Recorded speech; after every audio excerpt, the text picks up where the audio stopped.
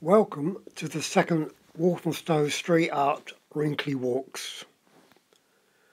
I've included a slight twist to our ramble today and have added an 1812 theme. So sit back and enjoy.